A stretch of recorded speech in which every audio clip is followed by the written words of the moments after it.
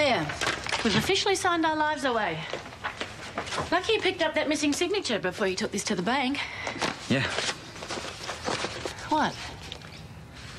Oh, it's just, um. We've never owed this much before. No, you do not get to back out now. This was all your idea, Who's remember? backing out? I'm just saying this is a big deal. Oh, I know. I've, um, I've read the repayment schedule. Tell me you're happy? Yeah, of course I am.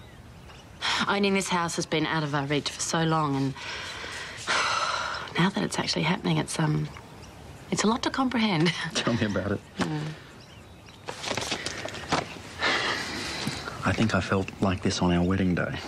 well, you made the right choice then, didn't you? We're making the right one now. Thank you for getting on board with this.